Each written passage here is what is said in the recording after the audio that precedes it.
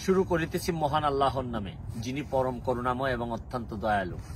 New ইয়র্কের বাইরে new জার্সির অ্যালপাইন নামক একটা জায়গা এখানে আসছে, এটা ধরে নেওয়া হয় সবচেয়ে ধনী মানুষের এলাকা। এখানে একটা রিভার মানে নদীর পাশে আসছি, পুরা পাথর দিয়ে নদীর পার বান্দানো এটা মনে হয় প্রকৃতিগতভাবেই হয়েছে কিনা আমি জানি না।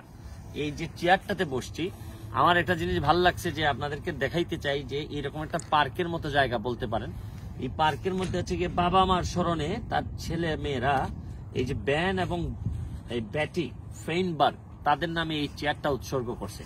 এই রকম চেয়ার দেখেন আপনি, যতগুলা চেয়ার এখানে দেখতে পাবেন, এই চেয়ারগুলা কেউ না কারও আত্মীয় স্বজনের নামে, কেউ ভালোবাসার তাগিদে, কেউ স্মৃতি রক্ষায় এরকম চেয়ার দিয়ে গেছে। আমরা কিন্তু বিভিন্ন জায়গায় রাস্তাঘাটে দেখবেন মানুষ কিন্তু অনেক কিছু করতে চায়, কিন্তু কোথাও এরকম আমরা খুব কমই পাই যে এরকম রাস্তাঘাটে, পার্কে এরকম একটা চেয়ার অন্তত বাবা মার নামে দেয়া যায় কিন্তু। আমরা যেরকম ভাবে মানুষে খাওয়াই, সবই ঠিক আছে। সাথে কিন্তু যদি এরকম একটু চেয়ার টিয়ারের ব্যবস্থা করা যায় আমাদের দেশে, তাও কিন্তু বাবা মার নামটা অনেকদিন ধরে থাকে। এই যে অ্যালপাইন যে জায়গাটায় আমি আসছি, আপনাদেরকে একটা জিনিস বলতে চাই। দেখেন, এটা একটা টুরিস্ট স্পট এখানে মানুষ আসে। আমার গতকালকে খবর পাইলাম, বাংলাদেশে তিন দিনের ছুটি পেয়ে প্রায় চার লাখ মানুষ নাকি চলে গেছে কক্সবাজারে। কক্সবাজারের এই সমুদ্রের তীরে মনে হইল যে পানির চেয়েও বেশি মানুষের সংখ্যা দেখা যায়। কি করা এত বেশি মানুষ। কিন্তু তারপরে একটা জিনিস খারাপ লাগল। দেখেন, এখানে কোনো, কিন্তু কোনো, কেউ কিন্তু আইসা আমাদের কাছে টাকা নিচ্ছে না। এই যে অ্যালপাইনে আসছে। আমি শুনলাম যে ডাল ভর্তার আলু ভর্তাও নাকি এখন কক্সবাজারে চারশো টাকা করে এই চান্সে বিক্রি করতেছে কক্সবাজারের লোকজন।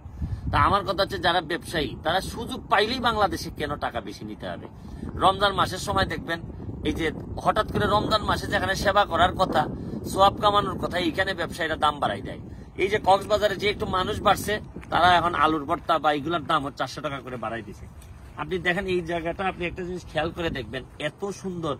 এই যে, এই পাশে হচ্ছে গিয়ে এই বিল্ডিংগুলো, আপনি দেখেন, একটু জুম আউট জুম ইন করে দেখাও।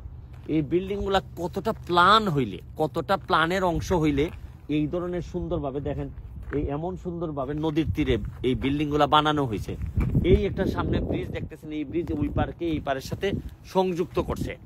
আমার কথা হচ্ছে যে, এরা মনে হয় অন্তত কয়েক হাজার বছর ধরে মনে হয় বুদ্ধি করে করে করে করে এই কাজগুলা করতেছে। আর আপনি ঢাকাতে গিয়ে দেখবেন যে যে জায়গায় বড় বড় বিল্ডিং দেখবেন ঠিকই, কিন্তু আপনার মনে হবে না যে কোনো একটা স্থায়ী বা এরকম বুদ্ধি করে বিল্ডিং বানানো হয়েছে এবং এই এলাকাটারে কেউ না কেউ নিয়ন্ত্রণ করে, এরকম আমাদের এলাকায় পাওয়া যায় না। এখানে আইসা আমার, আমি এমন না যে খুব প্রেমে পড়ে গেছি আমেরিকার। একটা কথা বলতে চাই যে যে যে, যার জায়গায় ভালো ভালো জিনিস যেগুলো আছে, এগুলো আমরা আমাদের নিজেদের দেশে কাজে লাগাইতে চাই। এটাই আমার, আমি যখনই কোনো ভালো জায়গায় যাই তখন মনে হয় যে আমি আমার এলাকায় যদি এটা পারতাম, আমার হবিগঞ্জে, চুনারঘাটে যদি পারতাম যে এরকম ভাবে চিন্তা ভাবনা করে আস্তে আস্তে কাজে লাগাইতে, তাইলে হয়তো আমাদের এত ধাপাধাপি করে বিদেশে আসা লাগতো না। আজকের মতো এখান থেকে বিদায় নিচ্ছি। যে ভালো ভালো জিনিসগুলা দেখতেছি, যেগুলা মনে হইতেছে যে অনেক সুন্দর, দেখার মতো শেখার মতো, এগুলো আপনাদেরকেও দেখাইতে চাই। কারণ আমার এই যে আমেরিকার যে এই বিশ পঁচিশ দিনের যে সফরটা, এটা আপনাদেরকে সাথে করে নিয়ে এই সফরটা শেষ করতে চাই। এই পর্যায়ে ভালো থাকবেন।